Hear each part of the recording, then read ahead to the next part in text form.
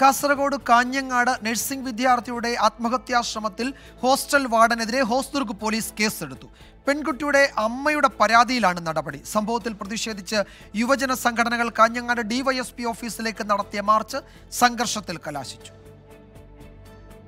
ആത്മഹത്യക്ക് ശ്രമിച്ച പെൺകുട്ടിയുടെ അമ്മ നൽകിയ പരാതിയിലാണ് ഹോസ്ദുർഗ് പോലീസ് കേസെടുത്തത്.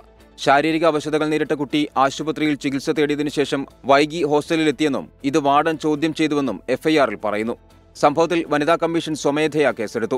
സംസ്ഥാന വനിതാ കമ്മീഷൻ അംഗം കുഞ്ഞായിഷ മൻസൂർ ആശുപത്രിയിലെത്തി പെൺകുട്ടിയുടെ സഹപാഠികളുടെ മൊഴിയെടുത്തു. ഇതിനിടെ കേസന്വേഷണത്തിൽ പോലീസ് അനാസ്ഥയെന്ന് ചൂണ്ടിക്കാട്ടി ഡിവൈഎഫ്ഐ യൂത്ത് കോൺഗ്രസ് പ്രവർത്തകർ കാഞ്ഞങ്ങാട് ഡിവൈഎസ്പി ഓഫീസിലേക്ക് നടത്തിയ മാർച്ച് സംഘർഷത്തിൽ കലാശിച്ചു.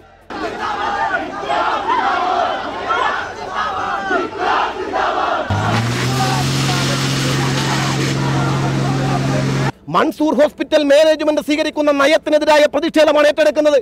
എന്നാൽ ബാബു പെരിങ്ങത്ത് ഇവിടെ ചില തീവ്രവാദ ഗ്രൂപ്പുകളുടെ പണം പങ്കുപറ്റിക്കൊണ്ട് ഈ സമരത്തെ വഴിതിരിച്ചുവിടാനുള്ള ശ്രമം ഇവിടെ നടത്തുകയാണ്.